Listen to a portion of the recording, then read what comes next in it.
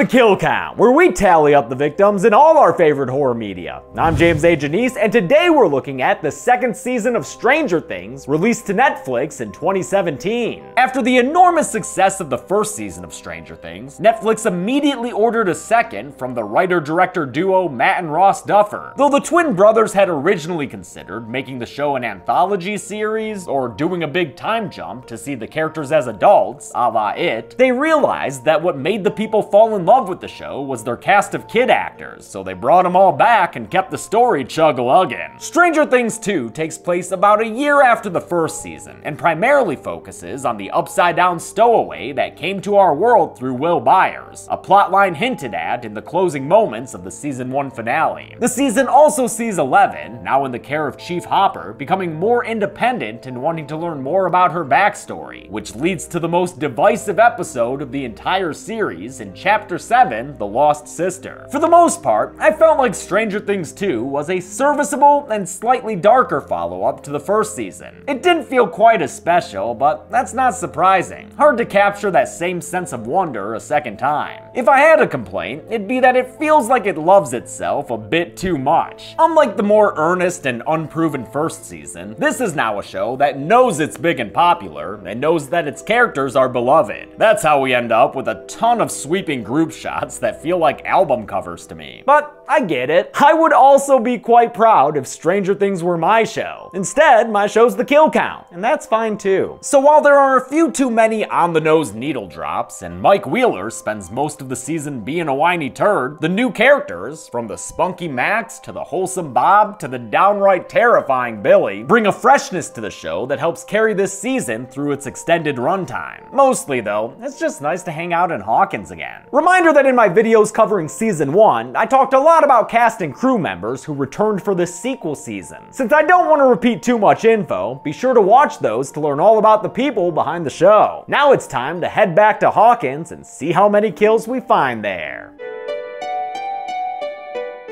The season begins in the city, Pittsburgh to be exact, almost a year after the events of season 1. An alarm bell signals that we're witnessing a crime, one committed by masked 80s punks rocking classic 80s punk hair. This diverse group of misfits flees the police in their van, but when they just can't seem to shake them, their leader, named Callie, directs driver Mick towards a tunnel, then closes her eyes for a shakalaka, comma, Boom. it crumbles a bridge that stops the cops, even though it didn't actually happen. Turns out Callie only made them perceive that the bridge had fallen apart. And all it took for her to do it was one little nosebleed. Say, that nosebleed and that wrist tattoo look mighty familiar. Almost as familiar as this title card! I said the thing. Y'all just love it, don't you? It's Halloween time in Hawkins, Indiana, which is as good a time as any to hit up the Palace Arcade. It's here that our favorite foursome, Will Byers, Mike Wheeler, Dustin Henderson, and Lucas Sinclair, convenes to play Dragon's Lair, a QTE Laserdisc game that was probably the most popular of 1983. And not exactly because of its gameplay. You know what I'm saying, you know what I mean. Dustin's dirt gets burnt, but that's not as bad as finding out he no longer has the high score on Dig Dug. That spot's been taken by someone named Mad Max. Will Byers is still feeling the effects of his sojourn to another dimension, occasionally seeing himself back inside the Upside Down, where the sky is mighty spooky. But calm down, you scared little bastard. This hellish vision is just a hallucination. In reality, Will's feet are still right side up. His peers at school haven't forgotten about the time he was declared dead, and their bullying makes it hard for Will to enjoy a presentation about the human brain by their science teacher, Mr. Clark. The lesson is interrupted by a new student's arrival who was just dropped off by her scorpion of a stepbrother. Oh, and the ladies of Hawkins High are mighty fond of that boy Stinger. Would you check out that ass? Just look at it go. The new student from California is Max Mayfield, played by Sadie Sink, who once sucker punched David Cross in an episode of Kimmy Schmidt. Knockout game. Oh! Ow! He didn't go down. The boys realize that Max must be Mad Max of Dig Dug fame, so they scope out this high scoring skateboarder at lunch, though their spying efforts don't go unnoticed. Stop spying on me, creeps. Well, shit. Creeps? Come on, Max. Would a creep wait outside the arcade and watch for you through binoculars? Actually, don't answer that. He will not be able to resist these pearls. You're making it worse, Dusty. Dustin's new teeth for this season are actually a fake set, since actor Gaten Matarazzo's real front teeth still hadn't come in by time of production. The purr, however, was all Gaten, derived from his Chewbacca impression. It starts off with my Chewy impression. Mm-hmm. That's not the Chewy. Me. My Chewy impression. Yeah. It needs a little work. Dustin and Lucas watch as Max is dropped off by her stepbrother, with whom she doesn't have the best relationship, and it becomes apparent real fast that this season about to have a love triangle. Mad Max. After a montage that screams, This is 1984, even though it's anachronistically scored by a 1985 Oingo Boingo song, we wind up at Melville's General Store in Hawkins Square, where Joyce Byers still works. What's new in her life, though, is a boyfriend named Bob Newby, played by Best Hobbit Sean Astin, in a casting decision that fuels the show's 80s nostalgia, thanks to his role in The Goonies. And I'll say it right now, I fucking love Bob Newby, even if we have different tastes when it comes to movies. Tell Jonathan not to pick anything scary. I hate scary movies. Joyce picks up Will from school for an appointment at Hawkins' lab, where they're joined by Police Chief Jim Hopper in all his protective paternal glory. At the lab, they speak with the new head scientist there, Dr. Sam Owens, played by Paul Reiser, another 80s nostalgia casting choice thanks to his role in Aliens as the smarmy, duplicitous company man Burke. His casting was also meant to make you immediately distrust this character. the minute you know I show up in season two, the audience is going, "Yeah, I just this is not going to go well." Will tells Owens, and unknowingly, some cigarette smoking scary guys, that he's been having flashes to the Upside Down, where he feels an evil presence watching him and waiting to kill everyone. Owens brushes it off, though, and says it's probably just trauma, since they're coming up on the anniversary of Will's demo dodging last year. Which, of course, came about thanks to an upside down gate inadvertently opened by Eleven, which continues to be a problem to this very damn day. Burn it with fire! Nancy Wheeler and Steve Harrington are still dating, but that doesn't stop her from being friends with Jonathan Byers and inviting him to a Halloween party so he won't stay inside by himself all night. You're gonna be home by 8.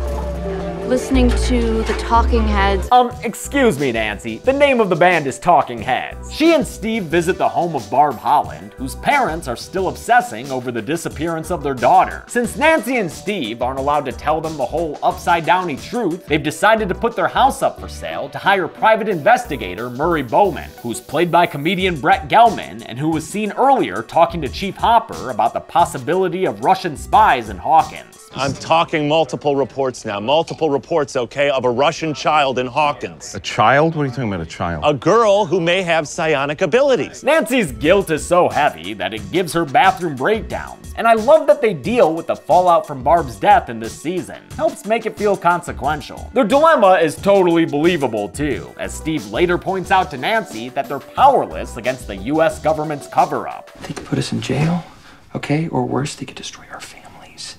They can do anything they want. Yeah, things are pretty rough when you're not Uncle Sam's favorite niece or nephew. After a movie night at the Byers home, where Bob gets a fucking kick out of Mr. Mom, Will wakes up in the middle of the night and experiences another psychic transportation to the Upside Down, in a shot that serves as a direct homage to Close Encounters of the Third Kind. Damn, Upside Down, your weather's been pretty wild lately. Wonder if it has anything to do with the 50-story behemoth on the horizon there. Hmm. Chief Hopper finishes a long day of investigating rotten pumpkin patches and parks his car at a cabin in the woods. He steps over tripwires and knocks a specific pattern on the door before entering, not wanting to scare the other inhabitant inside, who is revealed to be Eleven, now living with him and growing out her locks. Now, you may ask yourself, how did she get here? Well, after giving that Demogorgon some corporal punishment, Eleven was briefly transported to the Upside Down. For these flashbacks, Eleven needed to have her short hair cut, but everyone was understandably reluctant to shave Millie Bobby Brown's head again. The solution came from the married couple managing the season's huge amount of visual effects work. Senior VFX supervisor Paul Graff and senior VFX producer Christina Graff. They oversaw the show's nearly 2,000 VFX shots, including giving Eleven a digital haircut by tracking this buzz cut to her head. I think it's pretty damn impressive. Eleven found a way out through the hole the Demogorgon made when it burst into the season 1 finale, and Using her brain powers to make it more 11 sized, she pierced her way through the bubblegum membrane and returned to the right side up. She went back to the Wheeler home only to find it uninviting, with government agents all over the place, ensuring everyone there would stay hush hush. At least they don't have to worry about Mike's dad, Ted. Understood. We're all patriots in. Your boots, sir. Although Mike saw Eleven through the window, she was gone before he could talk to her, fleeing into the woods until eventually winding up in Hopper's cabin. Mike's been a little sad boy ever since, reminiscing about Eleven and trying to call her on the radio in vain. Eleven wants to go trick-or-treating, arguing that no one would know it was her beneath a costume, but Hopper ixnays that and play. We don't take risks, all right? They're stupid. And We're not stupid. exactly. He instead promises a night of scary movies and candy, but how could that compare to dressing up like a gosh dang Ghostbuster? Bustin' makes you feel good. Well, maybe not Mike. He's still emo and not in the mood for his mom Karen's photo sesh. But the other boys are happy to have their costumes photo documented by Jonathan and Joyce, by Dustin's mom Claudia and their cute kitty Muse, and by Lucas's unnamed mother and his unimpressed sister Erica. You are such a nerd. Shut up. They get to the school where Mike and Lucas argue over who gets to be Bill Murray. You're Winston. I specifically didn't agree to Winston. Dude, I agree with Lucas. Winston sucks. He joined the team super late. He's not funny, and he's not even a scientist. Completely valid points. Even though nobody else wore their costumes to school, Dustin and Lucas strike up the nerve to talk to Max and show off their gadgetry. They invite her to go trick-or-treating with them that night, but it doesn't look like she's into it. Sorry, boys. Max is picked up after school by her stepbrother Billy, who you can tell is a badass because of his denim tux, the speed at which he drives his Camaro, and the Ted Nugent blaring from his speakers. He's a real scary doucher who hates Hawkins so much, he nearly runs down its residence in the middle of the road. Billy's played by the then 22-year-old Perth-born Dacre Montgomery, last seen on the kill count in a short but memorable role in Better Watch Out. Billy's irredeemable bully character is basically what Steve was supposed to be before Joe Keery charmed the Duffers into writing a bigger, more sympathetic role for him. In real life, though, Dacre Montgomery seems like a nice guy too. I'm not really like that. This isn't who I am. Okay. Right we'll now little or the later. Character? He says he got the role after sending in a pretty unorthodox audition tape. It came out that I was wearing a, a G string at one point or another. You were uh, wearing a G string for the audition? Part of it. I may have been. But Uh, I got a movie coming up. You want to send me an audition tape? Hopper gets to work to find more rotten pumpkins on the docket. In fact, there are sites of blight all over Hawkins. And near some of these gross fly-filled gourds, Hopper finds a sticky slime all over the trees. Yuck. Will's been drawing pictures of the giant Lovecraftian monster he saw, and although that's concerning to Joyce, she still allows him to go trick-or-treating. Jonathan drops him off and gives him a video camera to record his adventures, then decides to go to the party Nancy told him about, a real cool kid Halloween jamboree where Billy's making a name for himself and inheriting Steve's old shitty friend Tommy H. Of course that fuck's dressed like Johnny Lawrence. Hopper's Podunk and Pumpkin investigation takes him late into the evening, meaning he's gonna be late for his movie night with Eleven, who has spent the day looking out the window and thinking back to when she had to telekinetically kill squirrels for food. Mmm, mind kill. For a while, she was stuck using flying flaming squirrel meat to keep herself hidden and warm, but eventually she found the food stash Hopper kept setting out for her. Too bad the guy can't keep his Halloween promises though. The boys are trick-or-treating when they're confronted by a shape.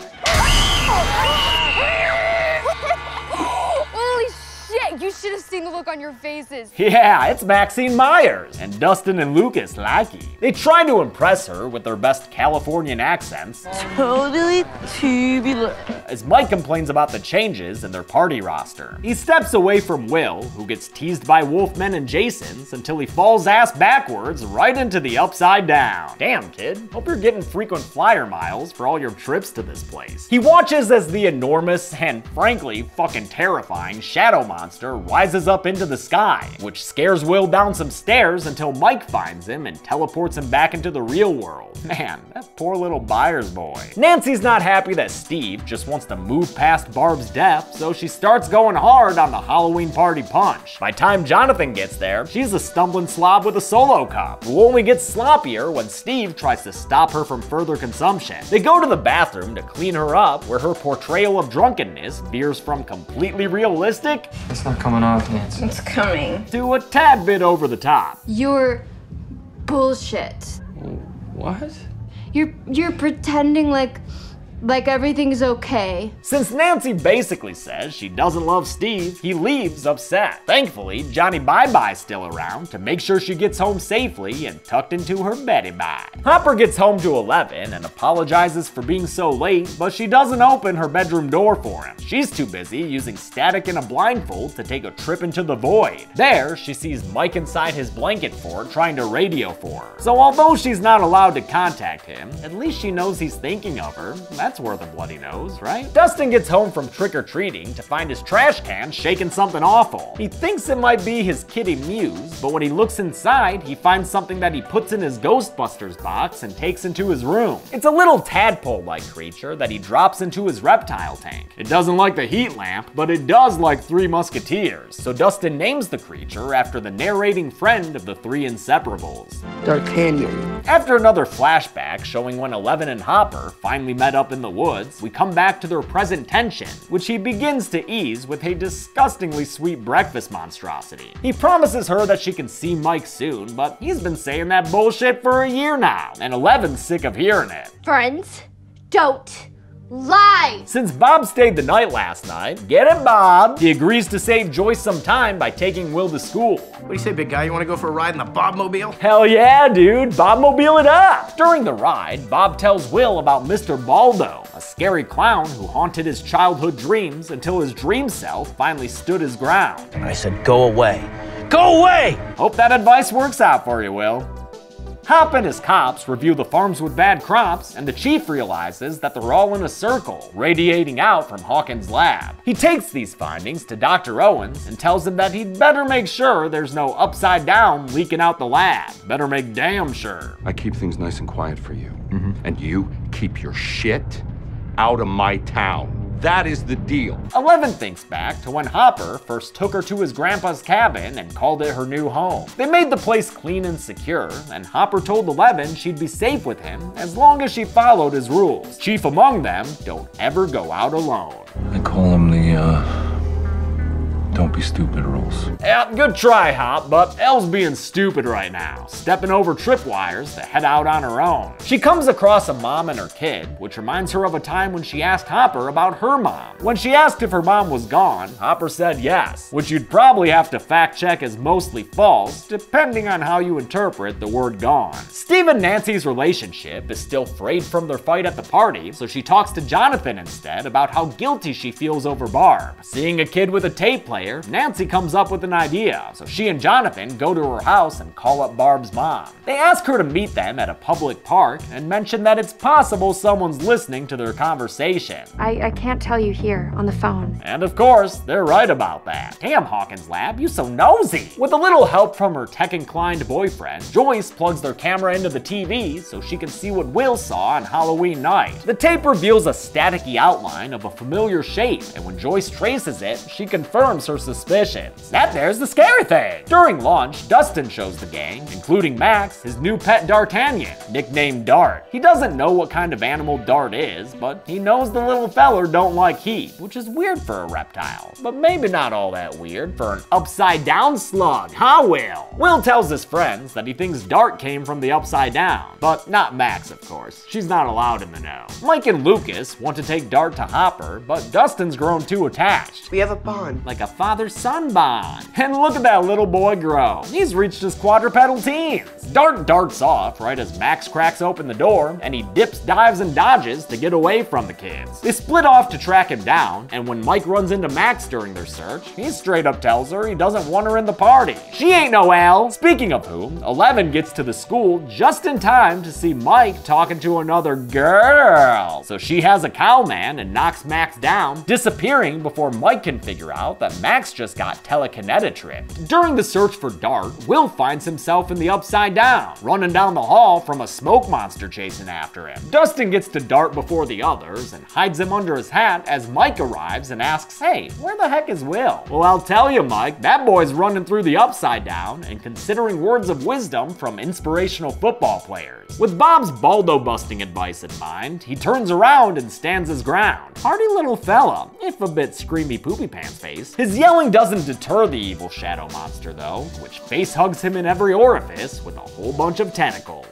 Well, that was gross to say. The giant shadow monster, which was advertised right off the bat for this season, was designed by Paul and Christina Graff, who had matte painter Steve Messing draw up concept art that incorporated storm clouds and tornadoes into the monster's appearance. For this scene, when it attacks Will's face, storyboard artist Michael Marr made concept paintings that were then filmed in an awesome way. Multiple cameras circled Noah Schnapp on a track, with one filming him in front of a green screen and another filming clean background to use behind him. Finally, effects company Hydraulx took all this concept art and turned it into the amazing visual effects that you see. A whole lot of people involved to bring this thing to life, but you know what they say, it takes a video village to raise a monster. Will is standing in the field, huffing shadow fumes in the upside down, when Joyce comes to pick him up. She takes him home, where he says he doesn't remember what happened, so Joyce breaks out the receipts and gets him to admit that he saw a scary monster, and that the scary monster is now in inside of him. That's probably why his temperature is running super low, and though Joyce tries to raise it with a nice warm bath, Will the Whack reacts to it like she was looking to boil him alive.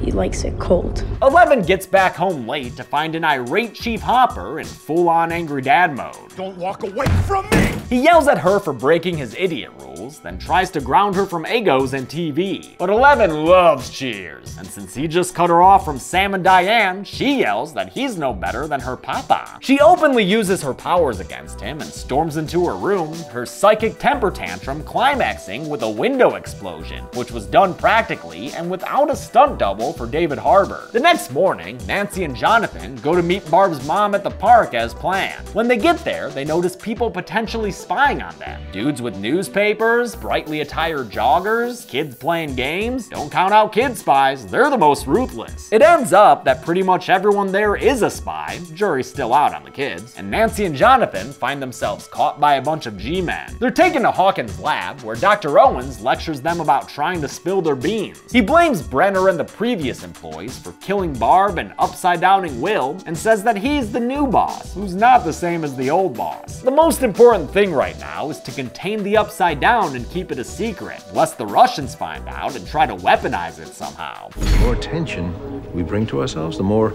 the more people like the Hollands know the truth, the more likely that scenario becomes. So quit trying to blab to people. We've got this. They let the kids go, and we see that these two future journalists just tape recorded themselves a scoop. The ones responsible for what happened to your brother and Miss Holland's death, they're gone. Evidence in hand, they drive out of Hawkins. After trying but failing to make amends with Eleven, Hopper is called to the Byers home, where Joyce shows him her little popsicle boy Will, who says the scary shadow monster wants to keep things nice and chill. He also says he's been given memories that aren't his own, memories of death and of sliding down water slides. He's having a hard time saying what he's seeing in words, so they tried to get him to draw it all out. But uh, maybe try drawing a little better there, Will. Those are scribbles. Unable to return to where everybody knows her name, Eleven reluctantly cleans the cabin until she finds a hatch in the floor that leads to a crawl space full of memories. Some fun, others undoubtedly less fun, and also one that may be relevant to her. Inside the box labeled Hawkins Lab, Eleven finds a file on Terry Ives, who once had a baby Jane. Whatever happened to her? She finds a picture of Terry with her papa and takes a blindfolded visit to the moist void to see what's up. There she finds Terry in a rocking chair, murmuring something to herself over and over. To the right. Left. Terry senses that Eleven's there and calls out her Christian name. Jane. leading Elle to learn a new word. Mama. Yeah, mama. It's like papa, only, I guess, dustier. Max is sick of being left out of all the cool conversations, so she tells Lucas she's done having friends that aren't fully friends. I don't want to be in your stupid party anyway. The argument is seen by Billy when he comes to pick her up, and uh, I don't like the way he's looking at Lucas there. There are certain type of people in this world that you stay away from. Yeah, something tells me he doesn't mean the kind of people who rock corduroy jackets. Dustin gets home and finds that Dart is no longer in his cage. Instead, he shed some skin and is now a drippy big boy. a drippy big boy who eats cats? Aw, Dart, you fucking suck, dude. Don't give me that sass, that's a bad Dart. The reveal of Dart's petal mouth confirms that he came from the upside down. In fact, Dart the Demodog is just an adolescent Demogorgon, whose five stages of evolution, tadpole, frog, cat, dog, and fully grown, were designed by Aaron Sims Creative, who of course did the original Demogorgon design for season 1. The effects company Hydraulx then added texture and designed the animal's internal organs and muscle structure, which you can sometimes see during its first two stages when its skin is still translucent. On set, they had 3D printed and silicone gel models so the actors could work with something tactile, even if it was just being pulled on a string sometimes. Other times, a marble was used as a stand-in, like when Dart was Tokyo drifting down the hallway. Will continues to draw reams of his raw dreams, and Joyce figures out that his scribbles are all part of a bigger picture. She and Hop get to taping them together, leading to another Joyce Byers project that, while maybe not as iconic as the Alphabet Lightboard, is still a pretty good visual set piece for the show. These scribbles were all over the Universal maze at Halloween Horror Nights. With a closer look, Hopper realizes what's being drawn. He's drawing vines. So he heads to the rotten pumpkin patch, where he starts digging until he taps into hollow ground. Climbing down into this hole, he finds himself in a tunnel that's got all sorts of vines and dandruff floating around. In other words, a tunnel that's looking pretty damn upside down. Joyce's latest arts and crafts project has taken over her home, but it hasn't helped them figure out what's wrong with Will, who tells Mike that he feels the monster taking over. It's like he's reaching into Hawkins more and more. And the more he spreads, the more connected to I feel. Mike says maybe they can use this connection as a weapon. Will can be a sweaty spy boy that informs them about the shadow monster. You know, as long as it doesn't backfire. What if he spies back? Well, that would be bad. Dustin gears himself up in old hockey pads and prepares to capture Dart with bologna, the worst of all deli offerings. His trail of processed garbage meat gets Dart out of the house, and when the little fucker figures out that something untoward is going on, Dustin has no choice but to knock his pet into a storm cellar and lock it up inside. I'm sorry. You ate my cat. Eleven gets a ride from a friendly trucker to the house of Ives, and when her Aunt Becky doesn't let her in, not knowing who she is, Eleven just ups and invites herself inside. I want to see Mama. She tries to talk to her mama, only to get the same jumble of words she saw her saying in the void. But after catching up with her aunt a bit, Eleven realizes that Terry is trying to interact with them through flickering lights. Judging by that bloody nose, one thing is certain.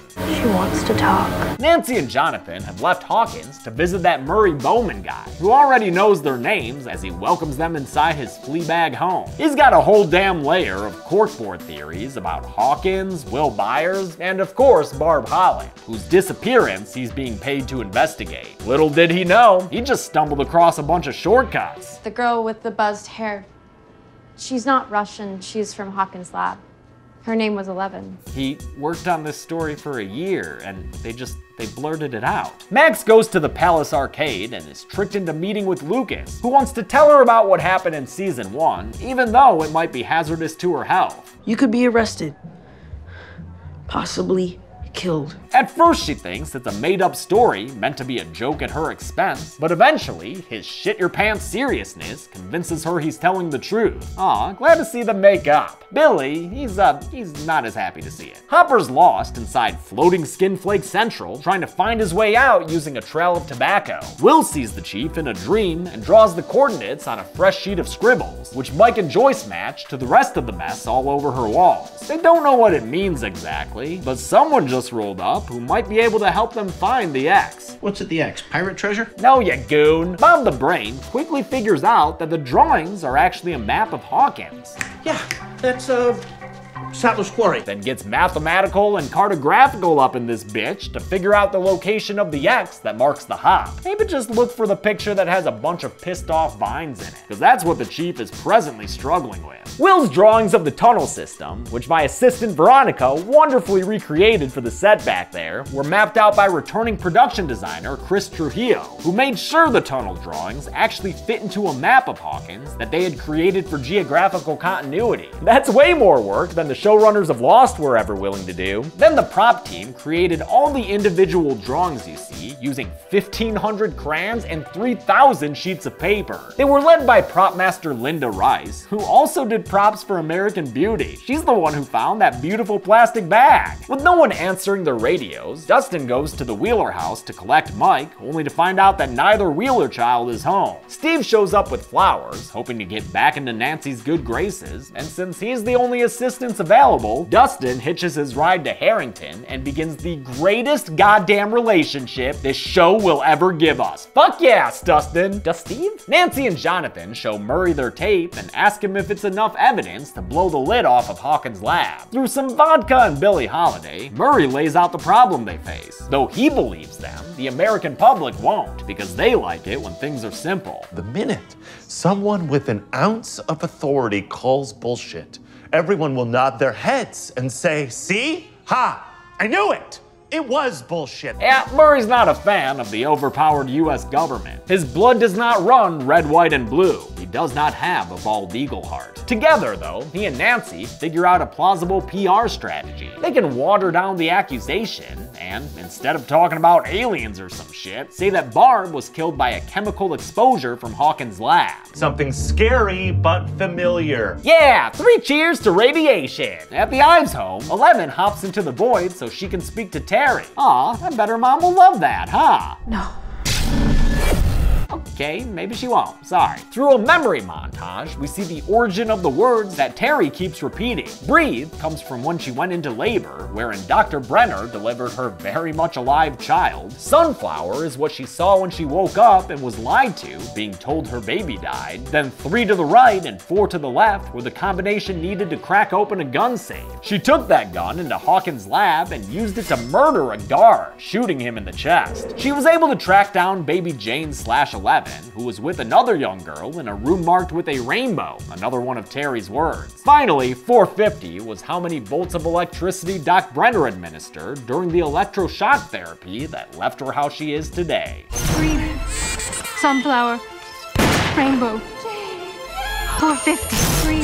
Three to the right. Three. Four to the left. Damn, that is some messed up shit. Mike, Bob, and the Byerses drive to where Hopper should be based on Will's drawing. They find nasty tentacle vines in the ground, and after Joyce hacks away at them with a shovel, she and Bob hop down into the tunnel. Are we in Will's map? They follow Hop's trail of broken cigarettes and find him getting choked by vines, but they're able to rescue him by cutting and stabbing at the tentacles. Hey, Bob. Hey, Jim. All of a sudden, though, some Hawkins lab peeps show up, and after giving Hopper a second to Indiana Jones his hat, they start flame throwing away at the vines. Unfortunately, the incineration also hurts Will, and I don't mean just a little. That boy's in bad shape. And that's where episode 5 of Stranger Things 2 ends. The next four episodes will finish out the season and give us a whole lot more kills to count, so don't you worry. I'll look at that on Friday, along with giving you the numbers and awards, but until then, I'm James A. Janisse. This has been the Kill Count. Thanks a lot for watching this Kill Count. I want to thank some patrons like Jacob Palacios, Noam Orange, Joshua South, Jalen Combs, Parker Tobiah, Stephanie Richard, and Jenna Lizer. And another huge thanks to Veronica for coming over and doing all these drawings and putting them up. Great work. We'll be finishing this up on Friday and then idle hands on Saturday. Thanks everyone. Be good people.